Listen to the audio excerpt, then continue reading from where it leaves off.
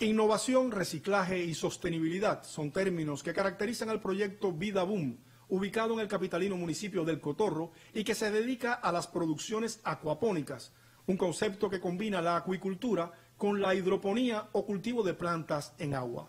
Hasta sus instalaciones llegó este viernes el primer secretario del Comité Central del Partido y presidente de la República de Cuba, Miguel Díaz Canel Bermúdez.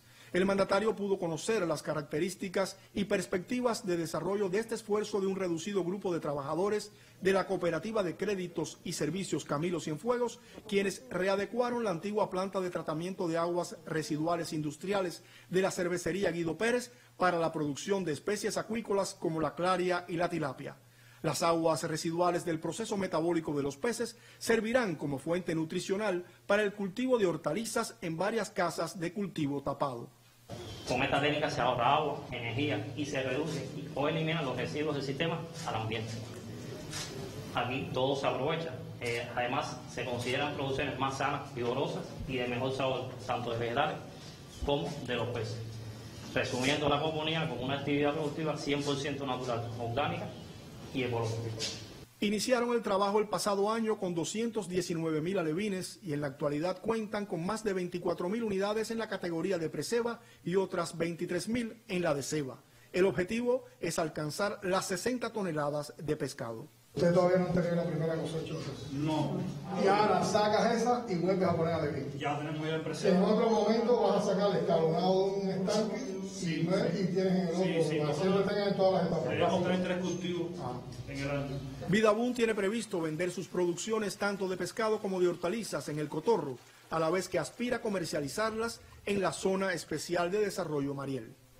En el propio municipio, el presidente cubano visitó también la planta de abonos orgánicos perteneciente al grupo empresarial de logística del Ministerio de la Agricultura, ELMA, un proyecto que hace realidad el encadenamiento productivo entre ese organismo y los ministerios de Industria y de Ciencia, Tecnología y Medio Ambiente. La entidad produce suelos mejorados y diferentes productos orgánicos como el humus de lombriz sólido y líquido para su comercialización en centros especializados y consultorios agropecuarios. Otras 15 plantas similares se construyen en todo el país, una experiencia que posibilita sustituir importaciones y brinda a la vez un aporte significativo al programa de soberanía alimentaria y nutricional. El mandatario se interesó por las producciones que allí se realizan y las condiciones de trabajo y salariales de su colectivo laboral.